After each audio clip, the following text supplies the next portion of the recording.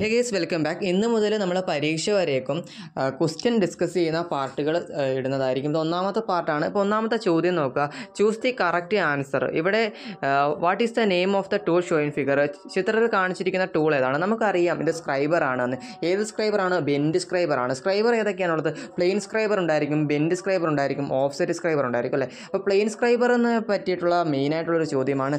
Most commonly use ചെയ്യുന്ന ഒരു scriber ഏതാണെന്ന് വെച്ചാൽ പ്ലെയിൻ സ്ക്രൈബർ ആണ്. ഈ ഒരു ബെൻഡ് സ്ക്രൈബറിന്റെ പ്രധാനപ്പെട്ട ഭാഗങ്ങൾ എന്തൊക്കെയാണ് ബെൻ പോയിന്റ് ഉണ്ടായിരിക്കും ഗ്രിപ്പ് ഉണ്ടായിരിക്കും സ്ട്രൈറ്റ് പോയിന്റ് ഉണ്ടായിരിക്കും അല്ലേ? അപ്പോൾ ഇത് നിർമ്മിച്ചിരിക്കുന്നത് സ്ക്രൈബർ നിർമ്മിച്ചിരിക്കുന്നത് എന്ത് ഉപയോഗിച്ചിട്ടാണ്? ഹൈ കാർബൺ സ്റ്റീൽ ഉപയോഗിച്ചിട്ടാണ്. ഓക്കെ? എവിടെയാണ്? ഈ ഒരു വെർണിയർ ഹൈറ്റ് ഗേജ് ഒക്കെ ഉണ്ടായിരിക്കുമല്ലോ അല്ലേ? അതിനകത്തൊക്കെ ഉപയോഗിക്കുന്ന ഏത് സ്ക്രൈബറാണ് നമുക്കറിയാം ഓഫ്സെറ്റ് സ്ക്രൈബറാണ് ഓഫ്സെറ്റ് സ്ക്രൈബറാണ് ഓക്കെ? അപ്പം അങ്ങനെ ഒരു ചോദ്യമുണ്ട്. പിന്നെ ബെൻഡ് സ്ക്രൈബർ പ്രധാനമായിട്ട് ഉപയോഗിക്കുന്നത് ഏതാണ്? സർഫസ് ഗേജിലൊക്കെ ഉപയോഗിക്കുന്നത് പ്രധാനമായിട്ട് ഒരു ബെൻഡ് സ്ക്രൈബറാണ് ഓക്കെ. അങ്ങനെയുള്ള പ്രധാനപ്പെട്ട കുറച്ച് ചോദ്യങ്ങൾ ഇതുമായി ബന്ധപ്പെട്ട് വരാനുള്ള സാധ്യതയുണ്ട്. രണ്ടാമതൊരു ക്വസ്റ്റ്യനിലേക്ക് നോക്കാം. കണ്ടില്ലേ? രണ്ടാമത്തെ ചോദ്യം ഇതാണ്. എന്ത് ടൂ എന്ത് മെറ്റീരിയൽ ഉപയോഗിച്ചുകൊണ്ടാണ് സ്ക്രൈബർ നിർമ്മിച്ചിരിക്കുന്നത് എന്നാണ്. ഹൈ കാർബൺ സ്റ്റീൽ ഉപയോഗിച്ചുകൊണ്ടാണ് മൂന്നാമത്തെ ചോദ്യം. What is the use of divider ആണ്. ഡിവൈഡർ എന്തിനു വേണ്ടിയിട്ടാണ് യൂസ് ചെയ്യുന്നത്? സർക്കിൾസ് വരയ്ക്കുക. ആർക്ക് വരയ്ക്കുക. And transferring and setting of distances അതൊക്കെയാണ് ഡിവൈഡറിന്റെ അല്ലേ?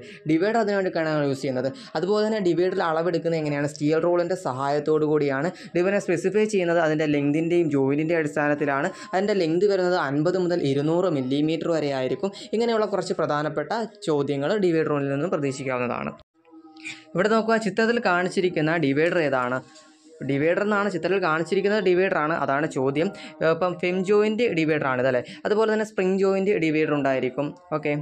അടുത്തൊരു ചോദ്യത്തിലേക്ക് പോകാം. ചോദ്യം അഞ്ചാണ്. Which one of the following as datum അതായത് ഡാറ്റമായിട്ട് കാണുന്നത് ഇതിനകത്ത് ഏതാണ്? സ്റ്റീർ റോൾ അല്ല ട്രൈ സ്ക്വയർ അല്ല ഔട്ട്സൈഡ് കാലിപ്പർ അല്ല അതാണ് മാർക്കിംഗ് ടേബിൾ ആണ്. അല്ലെ? സർഫസ് പ്ലേറ്റ് മാർക്കിംഗ് ടേബിൾ എന്നൊക്കെ പറയുന്നതാണ് ഡാറ്റം ആയിട്ട് അറിയുന്നത്. ഡാറ്റം എന്താണെന്ന് നമുക്കറിയാം. അതായത് ഒരു റെഫറൻസ് ഉപരിതലം നൽകുകയാണ് അതായത് നമ്മളൊരു അളവെടുക്കുമ്പോൾ നമുക്ക് എന്താണ് ഒരു സപ്പോർട്ട് തരുന്ന ഒരു ഉപരിതലം. അല്ലേ? അതിനെയൊക്കെയാണ് നമ്മൾ ഈ ഒരു ഡാറ്റം എന്നതുകൊണ്ട് ഉദ്ദേശിക്കുന്നത്. ഏഴാമത്തെ ചോദ്യം which punch mark is used make to set the divider point divider point set ചെയ്യാൻ വേണ്ടിയിട്ട് പ്രിക് പഞ്ച് മാർക്ക് തേർട്ടി ഡിഗ്രിയാണ് പഞ്ചസിനെ കുറിച്ച് നമുക്കറിയാം. രണ്ട് തരത്തിലുള്ള punches prick punch centre punch prick പഞ്ചിനെ തന്നെ എന്താണ്? പ്രിക് പഞ്ച് തേർട്ടി ഡിഗ്രിയും പ്രിക് പഞ്ച് സിക്സ്റ്റി ഡിഗ്രി ഉണ്ടായിരിക്കും. പ്രിക് പഞ്ച് സിക്സ്റ്റി ഡിഗ്രിയുടെ മറ്റൊരു പേര് എന്ന് പറയുന്നത് ഡോട്ട് പഞ്ച് എന്നാണ്. ഡോട്ട് പഞ്ച് ഉപയോഗിക്കുന്നത് വിറ്റ്നസ് മാർക്കിന് വേണ്ടിയിട്ടാണ്. എന്നാൽ ഡിവൈഡർ പോയിന്റ് കോൺസെൻട്രേറ്റ് ചെയ്യാൻ വേണ്ടിയിട്ട് തേർട്ടി ഡിഗ്രിയുടെ പ്രിക് പഞ്ച് ഉപയോഗിക്കുന്നു. സെന്റർ പഞ്ച് നയന്റി ഡിഗ്രി ഉപയോഗിക്കുന്നത് ഇതിന് വേണ്ടിയിട്ടാണ്? ഡ്രിൽ പോയിന്റ് കോൺസെൻട്രേറ്റ് ചെയ്യുന്നതിന് വേണ്ടിയിട്ടുള്ള ഒരു വൈഡ് പഞ്ച് മാർക്ക് അതായത് നോട്ട് ഡീപ്പ് അല്ലാത്ത രീതിയിലുള്ള ഒരു വൈഡ് പഞ്ച് മാർക്ക് നൽകുന്നതാണ്. സെൻട്രൽ പഞ്ച് എന്ന് പറയുന്നത് ഡിവൈ നമ്മൾ ഡ്രില്ല് നന്നായി കോൺസെൻട്രേറ്റ് ചെയ്യാൻ വേണ്ടിയിട്ടൊക്കെ ഉപയോഗിക്കുന്നത് ഒരു സെൻട്രൽ പഞ്ച് ആയിരിക്കും ഓക്കെ അടുത്തൊരു ചോദ്യത്തിലേക്ക് പോകാം. Which is used to sharpen the divider point divider point എന്ന് പറയുന്നത് ഓയിൽ സ്റ്റോൺ ഉപയോഗിച്ചുകൊണ്ടാണ് നമ്മൾ ഡിവൈഡർ പോയിന്റ് ഷാർപ്പനാക്കുന്നത് ഓക്കെ അടുത്ത ചോദ്യം നോക്കാം. വിച്ച് ഡാറ്റം ഈ ഷോയിൻ ഫിഗർ അതുപോലെ തന്നെ ഇവിടെ ബെഞ്ച് ഗ്രൈൻഡർ എന്ന് പറയുന്നുണ്ട്. അതായത് ഗ്രൈൻഡർ എന്ന് പറയുന്ന ഭാഗത്ത് നമുക്ക് ഡിസ്കസ് ചെയ്യാനുള്ളതാണ്. ബെഞ്ച് ഗ്രൈൻഡർ എന്തിനു വേണ്ടിയിട്ടാണ് യൂസ് ചെയ്യുന്നത് എന്നുള്ളതൊക്കെ അതായത് കട്ടിംഗ് ടൂൾസുകളുടെയൊക്കെ ഗ്രൈൻഡ് ചെയ്യാൻ വേണ്ടിയിട്ടൊക്കെ ഉപയോഗിക്കുന്നതാണ് ബെഞ്ച് ഗ്രൈൻഡർ എന്നൊക്കെ പറഞ്ഞിട്ട് ഒരു എക്സ്പ്ലനേഷൻ അവിടെ പറയുന്നുണ്ട്. അപ്പോൾ അടുത്ത ചോദ്യത്തിലാകും വിച്ച് ഡാറ്റം ഷോയിങ് ഫിഗർ ഒരു ചിത്രത്തിൽ കാണുന്ന ഡാറ്റം ഏതാണെന്നാണ് ചോദിച്ചിരിക്കുന്നത്.